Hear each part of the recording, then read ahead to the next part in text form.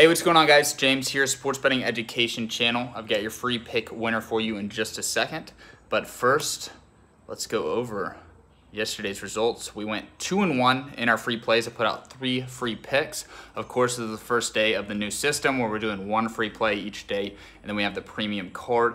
If you're interested in that premium card, $25, it gets you all three picks, the write-ups, the reasoning behind me pulling the triggers on the picks, and then a little bit of coaching on money management, of course money management, statistics, math, and just understanding how to, you know, how to game plan your plays for the day, how to use math and statistics to your advantage to give yourself an edge. It's not about just going out there making a pick, betting on it, and it's a winning pick, you win money. I mean, if you can create a combination of plays and you can wager certain amounts here, maybe a little bit in a long shot bet, put 20% of your bankroll into, you know, a favorite bet, things like that. And not your bankroll, but what, the amount you're betting that day.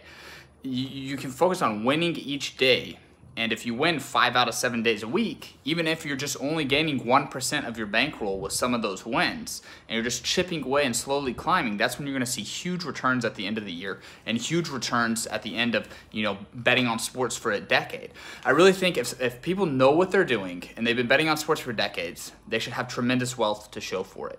Now, obviously, I'm a younger handicapper, I'm newer in the game, but I'm very confident that long term, sports betting is going to lead to generational wealth for all of my ancestors. I don't know if ancestors is the right word, for all, of my family tree beneath me, right?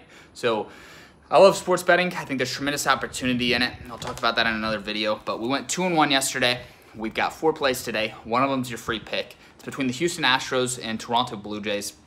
Huge pitching mismatch here. We're gonna go for that first half run line, Houston minus half the run. So we're gonna say that Houston's gonna be winning the game at the end of five runs. So if you look at the pitchers in this one, we've got Framber Valdez uh, pitching for the Houston Astros. He's rocking a 2.73 ERA.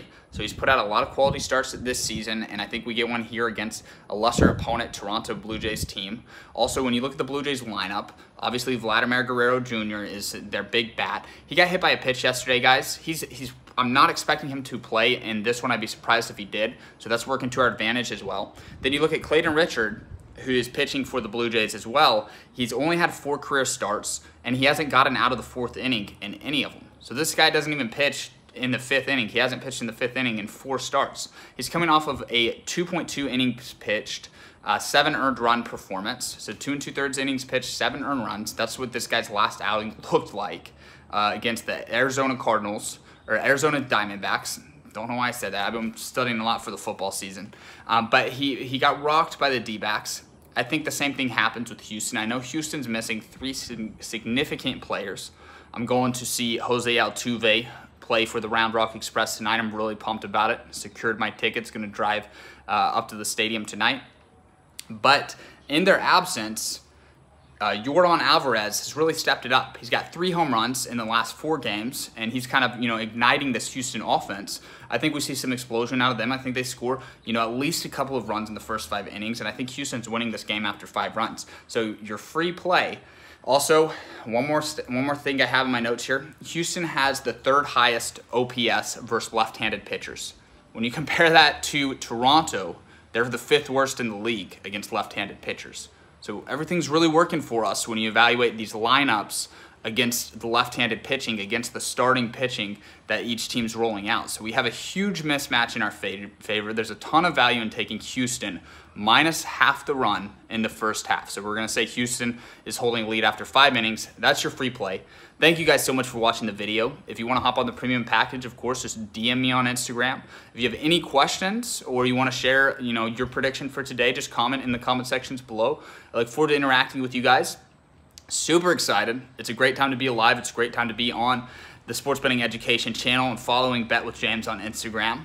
I'm just feeling blessed. I'm feeling excited and I'm thankful. I'm thankful for all of your support. I'm thankful for each and every one of you. We've put this 12 and 4 run together. It's amazing. It's brilliant. And hopefully we can get four winners today, starting with this Houston Astros game. So thank you guys for your support. I'll see you guys in tomorrow's video and I look forward to interacting with you on social media.